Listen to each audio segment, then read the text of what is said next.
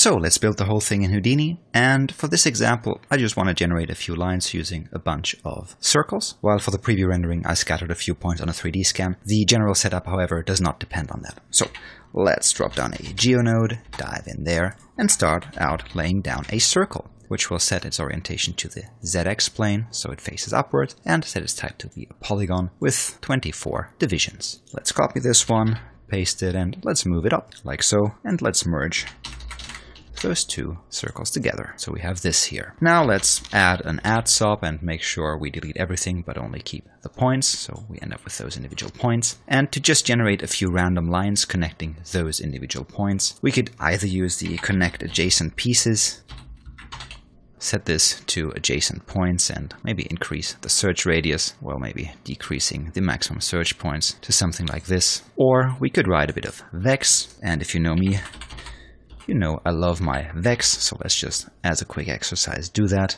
And what I want to do in here is, I want to run this over points, and for each point, let's maybe generate 10 or 20 lines. So using a for loop, which we're going to run for, say, 10 times.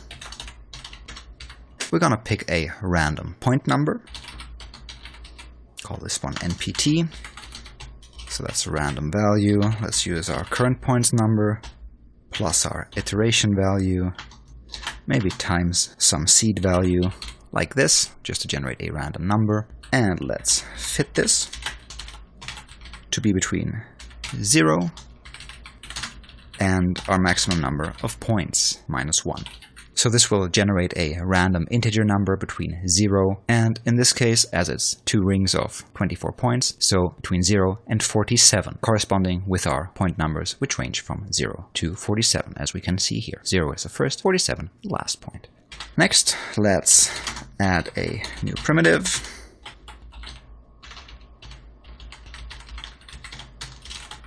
to our current geostream which is a line called polyline, and which contains our current point number and the NPT we just generated as endpoints. So we end up with this bunch of lines connecting those points together. So we got our initial lines here. Next, for the step when I'm building my density map, I need some sort of grid. And a three-dimensional grid in Houdini is called a volume, so let's generate a volume. And I want to make sure that this volume is big enough to contain all my geometry. So I'm using a bounding box here, just a bound SOP, which will generate this bounding box, which I'll then feed into an ISO offset to generate an old school Houdini volume, let's say with a sampling division of 100 or maybe 200 units. Let's call this one density, and immediately this volume is filled with non-zero values, as can be seen by this fog here. However, let's use a volume wrangle to make sure that this density value is set to zero everywhere, like so. Next, as we want to repeat this algorithm over and over again, let's use a solver SOP. We could also put this into a for loop if we don't care for animation. However, I want this to be moving. So on the one hand, I will input those lines here into my solver, goes into the first slot, and the volume will go into my second slot. Let's highlight the solver and dive in there. First thing in the solver, let's just drop down a switch just for the very first frame to check that we work directly on the data we're piping into the solver and not on our previous frame's data data by in a switch checking if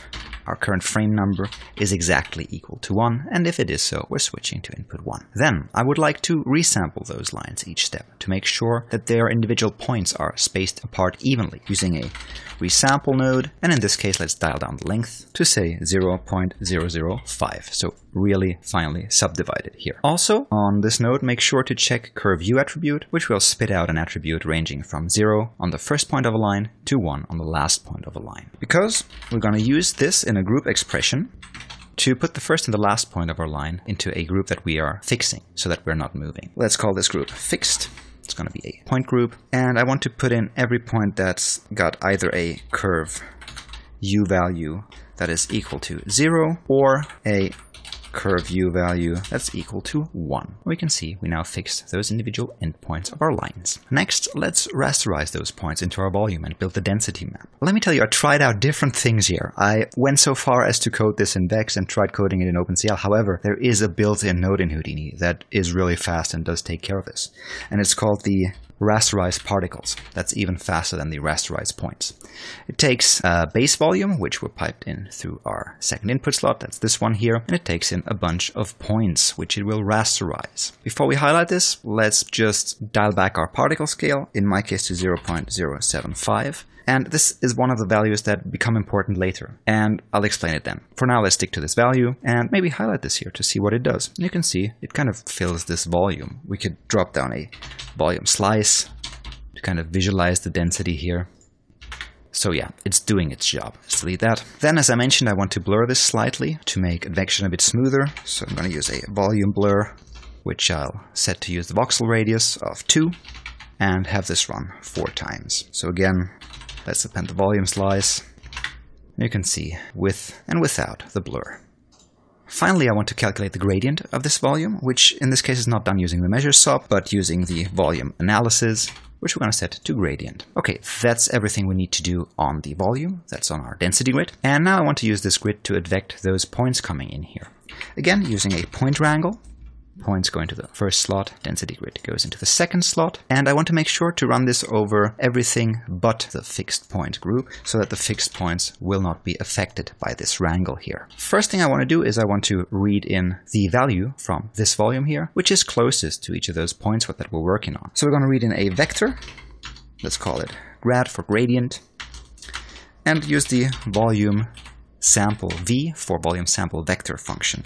Let's just hit F1 on this and read the help card for this. So this needs a geometry, in this case the slot with the number 1. It's this one here. Either a primitive number for which volume to read from, or a volume name, and the position where in the volume it should look for a value. Okay, second input slot is the slot with the number 1.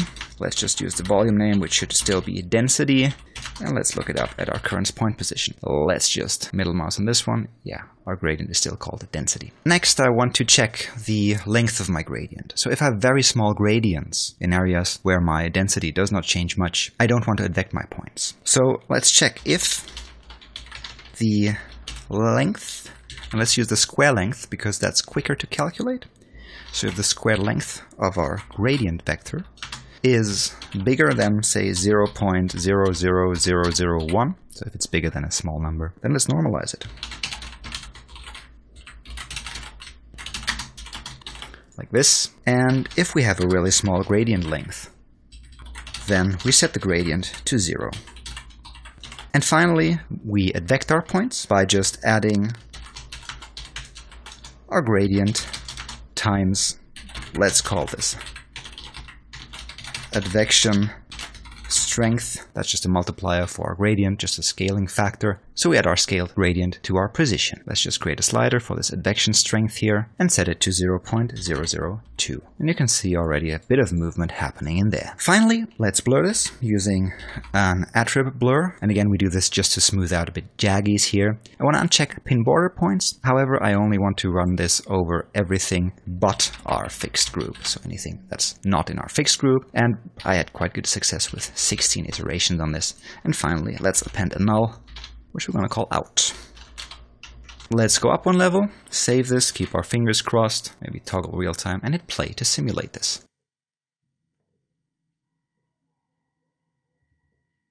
So already you can see this is working kind of nicely. However, there is one last major or minor, depending how you look at it, trick to improve the setup a bit, which is taken straight from the paper. Because what the authors do here is they vary, when we go into the solver, to the volume rasterized particles here, they vary the particle scale with which the particles are rasterized into this volume. So in the beginning you can see, especially again, let's use a volume slice here, you can see these individual lines are rather thick, and that comes from this value here, which is somewhere in between thick and thin. And this causes the graph to never actually quite settle, because we can always advect and always blur out a bit at the end, so this will always move. However, what the authors do of this paper is, they over time, they reduce this particle scale here by just multiplying it with a factor ranging from 0.5 to 0.9 in their paper each step. So let's do this too. And for this factor, let's go up one level. Before we head into the solver here, I want to drop down an attrib wrangle which I'm going to set to detail. And let's just save this particle scale. Let's call it raster scale. Let's just save this as a detail attribute here. Wire this in here before we go into the solver. Let's just middle mouse on this to check. Yes, we've got this raster scale here. So in the solver, instead of directly writing a value down here, I want to use a small expression, namely the detail expression, looking at this detail attribute that we just wrote out, and we could use any of those nodes upstream here. So let's just point it to this node here, just like a standard path. How did I call the attribute raster scale? Okay, and an index of 0. So now that results in the same number because we haven't changed it yet. However, what we want to do each step after we did all of our operations, we want to reduce this number. So again, let's drop down an attribute wrangle, set this to run over detail, and let's multiply our raster scale times a factor, which we're going to use a slider to set up. Like this. This goes in here, and let's drag this down and dial in a value of, say, 0.98. That's a value with which I had good success. All right, highlight this, go up one level, save this, and again, let's resimulate. And that's making me almost happy. Just almost, because back here we can see those graphs are starting to be torn apart again. And this took me a while to diagnose. It actually comes from this attrib blur down here. So when we do not affect the graph at all anymore, this attribute blur will still blur out those individual positions of our graph. So it'll still try to move them apart again. So what we have to do is, in our point wrangle before, where we check how big the gradient is, we have to check that if our gradient is really small here, we also put this point, which is at a position of a really, really tiny gradient value, into our fixed group as well. So it does not get attribute blurred afterwards as well. So let's just add an expression here and put it in our group fixed equals 1. And that's just a shorthand for our set point group. Let's reset this, go up one level, and resimulate. And now I'm getting exactly that behavior that I was expecting.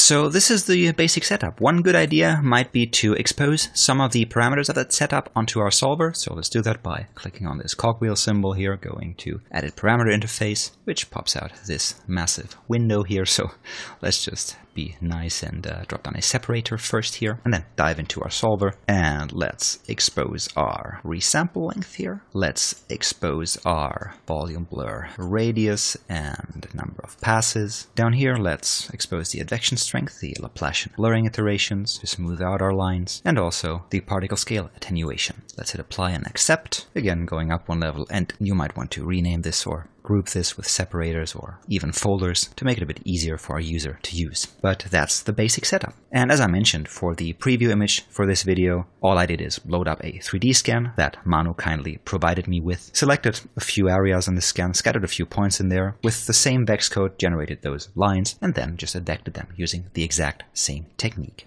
So, in my opinion, a highly fun technique, a really nice paper to read. Again, I will link to it. As always, I'm excited to see what you guys cook up with this setup. And if you can't get enough of this kind of stuff here, you might want to consider supporting us on Patreon, also to gain access to more in-depth courses. And to everyone supporting us on Patreon already, thanks so much guys. This is what kind of makes this all possible. With a very special thank you going out to Parasol Island, Gearbox Studio Quebec, Encore VFX, Important Looking Pirates, Refik Anadol, Chris Hebert, and Nathan Wilson. Thanks so much guys. And as always, it's cheers and see you next time.